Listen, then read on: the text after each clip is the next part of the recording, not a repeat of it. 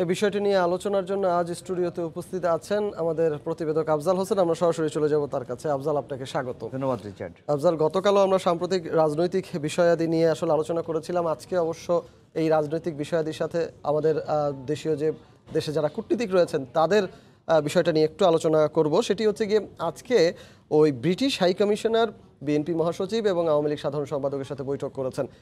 তো স্বাভাবিকভাবেই তাদের মাঝখানে যে আলোচনা হয়েছে সেই আলোচনায় বিএনপি আসলে কি অবস্থানে গিয়েছে বা তারা কি বোঝাতে পেরেছে?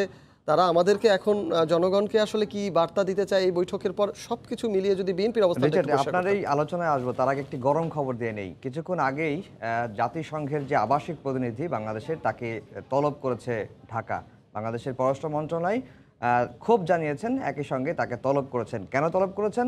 যে আশরাফুল আলম ওরফে হিরো আলমকে যে উপনির্বাচনে যে মারধরের ঘটনা ঘটেছিল, সেইটি কেন্দ্র করে তেরোটি দেশ একযোগে একটি যৌথ বিবৃতি দিয়েছিল। সেই বিবৃতির কারণেই কিন্তু পররাষ্ট্র মন্ত্রণালয় থেকে এই উদ্যোগটি নেওয়া হলো। আর এখন আপনি যে বলছিলেন যে, আজকে ঢাকায় একই দিনে ব্রিটিশ হাইকমিশনার দুটি দলের একেবারে সেকেন্ড ম্যান বলি তাদের সঙ্গে বৈঠক করেছেন। প্রথমে বৈঠকটি হয়েছে আওয়ামী লীগের সঙ্গে। আওয়ামী লীগের সাধারণ সম্পাদকের সঙ্গে প্রায় এক ঘন্টাব্যাপী বৈঠক হয়েছে। এরপরে বিএনপি মহাসচিবের সঙ্গে আরও দুজন নেতা দলের যুক্ত ছিলেন। তাদের বৈঠকে যেটি আলোচনা হয়েছে, বিএনপি বের হয়ে আলোচনার পরে যেটি গণমাধ্যমকে জানিয়েছেন, যেহেতু আলোচনায় যখন বৈঠক চলছিল তখন গণমাধ্যমের প্রবেশাধিকার ছিল না। বিএনপি বলছে যে অংশগ্রহণমূলক নির্বাচন প্রত্যাশা করে যুক্তরাজ্য। তত্ত্বাবধায়ক ছাড়া নির্বাচন সুষ্ঠু হবে না, সেটি যুক্তরাজ্যকে বিএনপি জানিয়েছে। জনগণ ভোট দিতে পারছে না, সেই কারণেই বিদেশিরা তৎপর। বারবারই বিএনপির তরফ থেকে এই কথাটি বলা হচ্ছে যে, বিদেশিরা বাংলাদেশে কেন এত তৎপর হচ্ছে? তারা তো অন্য কোনো দেশে যাচ্ছে না, দক্ষিণ এশিয়ার বলেন বা অন্য কোনো দেশে এত তৎপরতা কেন দেখা, দেখাচ্ছে না তারা? তারা কারণ হিসেবে যেটি বলছেন যে বাংলাদেশে গত দুটি নির্বাচন সুষ্ঠু হয়নি, এখানে মানুষ ভোট দিতে পারে না, ভোটাধিকার নেই, সেই কারণেই বিদেশিরা বাংলাদেশে তৎপর হচ্ছেন। ভোট চুরির প্রকল্প চলছে। এই প্রকল্প বলতে বিএনপি যেটি বোঝাচ্ছে যে এখন ডিসিদের রদবদল হচ্ছে, পুলিশের ব্যাপক রদবদল হচ্ছে, সেই প্রসঙ্গ টেনেই বিএনপি নেতারা বলছেন যে ভোট চুরির প্রকল্প চলছে। আর আজকে আওয়ামী লীগের সঙ্গে বৈঠক শেষে আওয়ামী লীগ সাধারণ সম্পাদক দীর্ঘক্ষণ গণমাধ্যমে কথা বলেছেন এবং এই ব্রিটিশ হাই কমিশনার যে সারাকুক তার সঙ্গে কি আলোচনা হলো, তারা কি জানতে চেয়েছেন, আওয়ামী লীগের তরফ থেকে তাকে কি জবাব দেওয়া হয়েছে, সেই বিষয়গুলো নিয়ে কথা বলেছেন। তারা যেটি শুরুতে বলেছেন আওয়ামী লীগ সাধারণ সম্পাদক যে অংশগ্রহণমূলক নির্বাচন নিয়ে কথা হয়েছে। এই প্রথম যুক্তরাজ্যের হাই কমিশনার আওয়ামী লীগের সাধারণ সম্পাদক, ক্ষমতাসীন দলের সাধারণ সম্পাদকের কাছে এই অংশগ্রহণমূলক নির্বাচন প্রত্যাশা তারা করেন, এটি জানিয়েছেন। নির্বাচনের সময় ব্রিটিশ প্রধানমন্ত্রী কি পদত্যাগ করেন, এটি ওবায়দুল কাদের পাল্টা ব্রিটিশ হাই কমিশনের কাছে প্রশ্ন করেছিলেন। তার কাছে জানতে চেয়েছিলেন যে যখন যুক্তরাজ্যে নির্বাচন হয়, তখন কি যুক্তরাজ্যের যে হাউস অব কমন্স সেটি কি ভেঙে যায় বা তাদের যে সংসদ, সেটি কি ভেঙে দেওয়া হয়?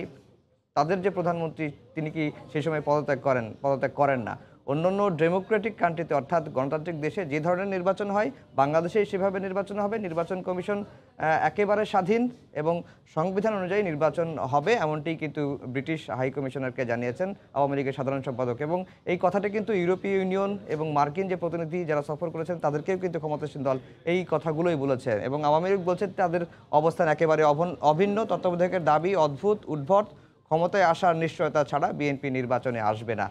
এই কথাগুলোই কিন্তু আজকে আওয়ামী লীগ সাধারণ সম্পাদকের সঙ্গে ব্রিটিশ হাইকমিশনার যে বৈঠক হয়েছে, সেই বৈঠকের পরেই যে ব্রিফিং করেছেন গণমাধ্যমে এই বিষয়গুলোই কিন্তু এসেছেন।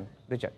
আচ্ছা আরেকটা বিষয় ছোট্ট করে যদি জানাতেন আপনার কাছে প্রতিবেদন থাকলে সেটা অবশ্যই আমাদেরকে জানাবেন। পাশাপাশি আরেকটা বিষয় জানিয়ে রাখবেন যে ব্রিটিশ হাই কমিশনের পক্ষ থেকে কোনো ধরনের এই বৈঠকের পরবর্তী কোনো ধরনের বক্তব্য জানা গেছে থেকে টুইট করা হয়েছে তাদের যে বাংলাদেশের হাই কমিশনের যে ফেসবুক পেজ সেখানে তারা বলেছেন যে বাংলাদেশের তারা অবাধ সুষ্ঠু অংশগ্রহণমূলক এবং শান্তিপূর্ণ নির্বাচন হোক এবং ডেমোক্রেটিক যে রাইট সেটি যেন বজায় থাকে সেই ক্ষেত্রে তারা উৎসাহিত করে থাকেন। আর আজকে প্রধানমন্ত্রী কথা বলেছেন, গতকালকে এবং এর আগের দিন বিএনপির যে পদযাত্রা হয়েছিল, দুটি কর্মসূচিতেই ব্যাপক সহিংসতা হয়েছে। সেই প্রসঙ্গটি নিয়ে আজকে প্রধানমন্ত্রী কথা বলেছেন একটি অনুষ্ঠানে। প্রধানমন্ত্রী যেটি বলেছেন যে, বিএনপি জামাত শুধু ধ্বংসই করতে পারে, লুটপাট করতে পারে, তারা জনসেবা করতে জনসেবা করতে পারে না। আর সহিংসতা হলে রাজনীতির নামে যদি কোনো সহিংসতা হয়, তাহলে তাদেরকে শাস্তির আওতায় আনা হবে, চিহ্নিত করে। এই নিয়ে একটি রিপোর্ট রয়েছে আমার হাতে, আমরা এখন সেই রিপোর্টটি দেখব।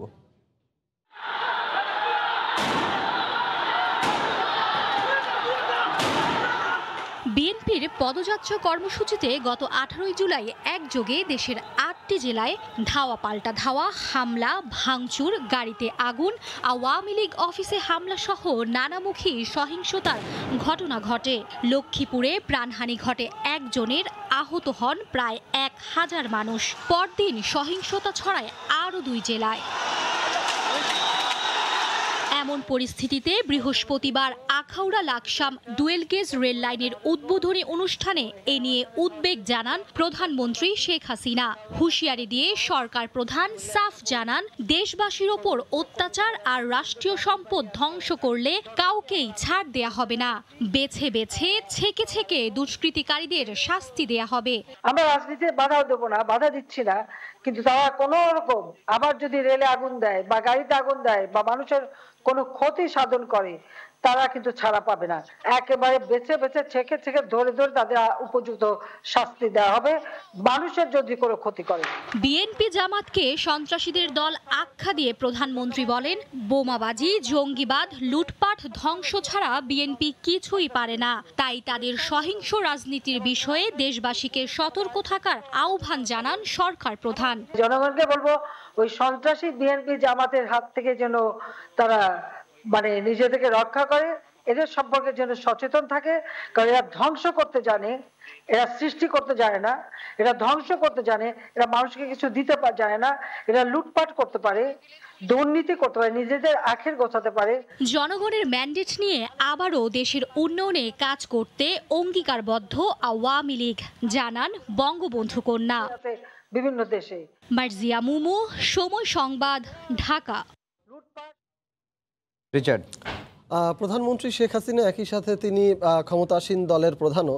তো আপনার কাছে যেটি জানতে চাওয়া আজকে তিনি বিএনপিকে কিছু বার্তা দিয়েছেন। সেই বার্তার যদি সারমর্ম জানতে চাওয়া হয় তাহলে আসলে মোটা দাগে কি কি বলবেন? না গত কয়েকদিনের কর্মসূচিতে বেশ কয়েকটি জেলায় আমরা যদি বলি যে আঠারো তারিখে বিএনপির পদযাত্রার প্রথম কর্মসূচি ছিল সেখানে অন্তত নটি জেলায় রণক্ষেত্র পরিণত হয়েছিল। এবং গতকালকেও আমরা দেখেছি যে চট্টগ্রাম এবং দিনাজপুরেও সহিংসতার ঘটনা ঘটেছে গাড়ি ভাঙচুরের ঘটনা ঘটেছে পাল্টাপাল্টি বিক্ষোভ ধাওয়া পাল্টা দেওয়ার ঘটনা ঘটেছে। সেই প্রসঙ্গ টেনেই আজকে মাননীয় প্রধানমন্ত্রী তিনি ইতালি সফর যাচ্ছেন। সফরে যাওয়ার আগে আজকে ওই যে আহ, রেল লাইনের প্রকল্পের উদ্বোধনী অনুষ্ঠানে তিনি বলেছেন যে বিএনপি জামাত শুধু ধ্বংস ও লুটপাট করতেই জানে তারা জনসেবা জনসেবা করতে জানে না। সরকার রাজনৈতিক কর্মসূচিতে বাধা দেবে না এখন পর্যন্ত বাধা দেয়া হচ্ছে না।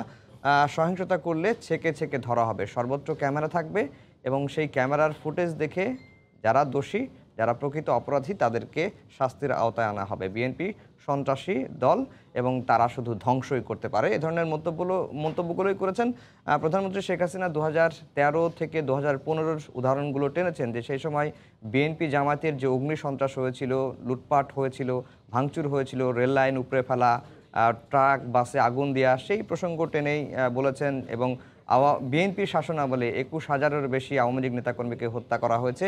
সেই প্রসঙ্গ টেনেই প্রধানমন্ত্রী বলেছেন যে জনগণের যদি কোনো ক্ষতি হয়, তাহলে কাউকেই ছাড় দেওয়া হবে না। এটি একটি কড়া বার্তা। বিএনপি আন্দোলন করছে। বিএনপির আন্দোলনে যেন কোনো ধরনের সহিংসতা না হয়। সেই বিষয়টি নিয়েই মূলত বিএনপিকেই হুঁশিয়ারি দিয়েই প্রধানমন্ত্রী এই কথাগুলো বলেছেন।